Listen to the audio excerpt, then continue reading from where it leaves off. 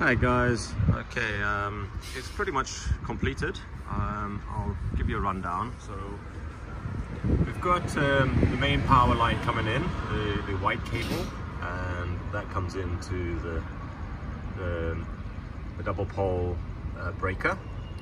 Um, from there we run off to the transformer. Now the transformer, because we're in Thailand, we're running at um, 110 uh, whereas this uh, controller actually came from the US, uh, Rachio. So it came with 100 and, uh, sorry, we're running at 240, um, but the controller is running at 210. So we needed to get uh, another transformer uh, to, to connect it in properly. So that was a problem we've had. We've, we've, we've found one and it works, so that's great. So the main line comes in and goes to a little plug for that.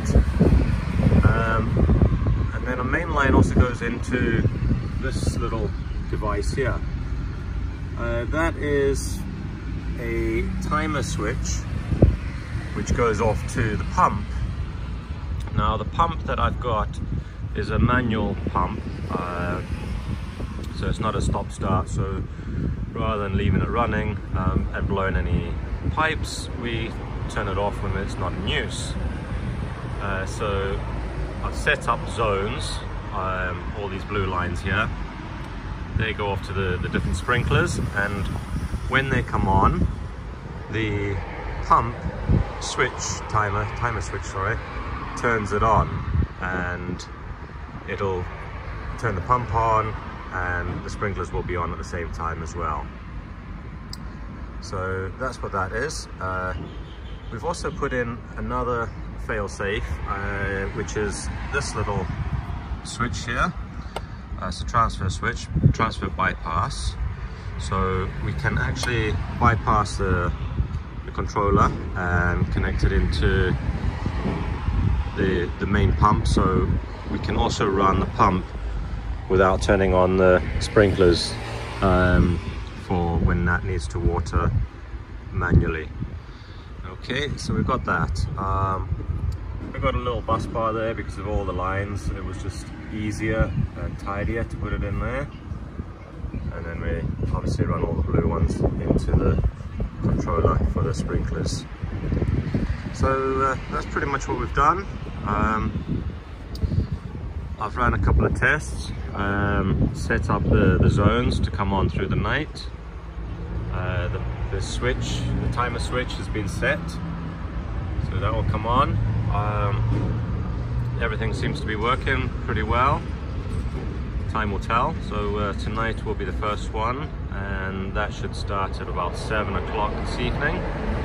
Uh, first, first sprinkler will run for 15 minutes and then turn off um, it'll be off for probably an hour and 15 minutes.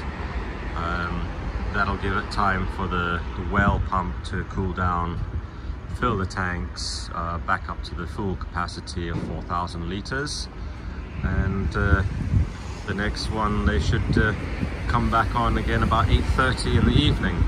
Um, it's all, they're all set, 10 zones, 15 minutes each and hour and 15 minutes rest time. Uh, I could probably cut it down, but initially uh, I want to try it out like that for tonight. And I'll probably pop around later on and make sure it is actually working how I want it to. But uh, I have run a, a, couple of test runs already and it seems pretty good. So uh, most of the things, the cables are all tidied up. Uh, probably a little bit more to just dot about there um, and still tidy up these other bits of cables here. Um, and I still haven't unconnected the two valves and run the cable underneath the, the footpath yet. Uh, that will be for another day. We haven't um, hooked in the uh, pressure switches yet I'll just walk you down there quickly and explain what we're doing um, now the, the pump is actually connected to that box I'm just showing you. Um, we've got the, the pressure switch and the gauge all fitted. It's just not wired in. Um, reason being is we're waiting for another little little um, cutout which will be put into the tank. Um, so when the water gets too low, the it'll automatically stop the pump. Um, once it reaches a certain level, it'll allow the pump to turn on, subject to the controller and switches all turning the pump on. But technically, it should mean that there's power going to it if it's there.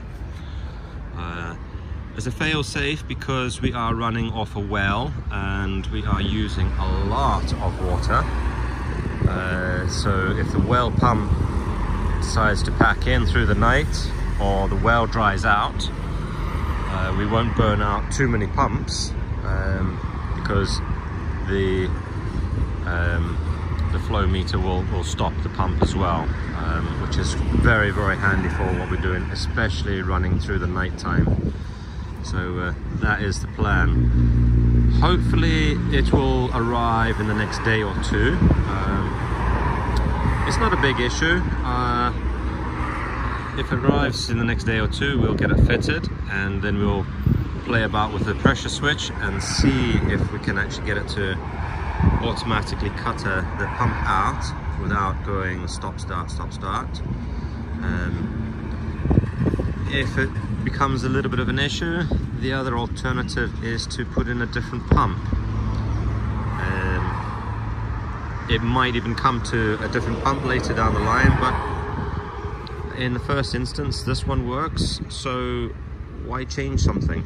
Um, but it might just make it a, bit, a little bit easier that we can leave it on um, with a proper pressure switch uh, building up pressure in the line because this one doesn't have any uh, pressure tank attached to it it's a, a simple one horsepower um, centrifugal pump that we've got in here it's ideally ideally what we put it in here for was to pump out of the river which as you guys can see now, is totally dry. Uh, and this is rainy season, or pretty much rainy season. So that's the reason why we've had to adapt very, very quickly. Um, or else all these plants will eventually perish, and we don't want that. So uh, tonight will be a, a, live test, and uh, we'll watch it. I'll pop around and make sure it's working. Um, if not, then have to adjust it tomorrow or something. But uh, fingers crossed, we got it all connected in correctly and it's running well. So uh, I'll let you know later. I'll maybe do a short video and add it in as well and you can see. So uh, anyway, for now, um, if you like the videos, if you have any comments, please leave them in the comments box below. Um, if you like the videos, please share them, um, give us a thumbs up and uh, subscribe. Uh, can't ask for more than that. I've got to try and head up to uh, a thousand subscribers. Um, I think I'm probably nearing 400 mark shortly, and uh, it's all go from here. Uh, next stage is to show you a few things around the place and uh, see what we've done. So uh, keep us going, keep subscribing, keep liking, keep sharing. All right, thanks very much guys, see ya.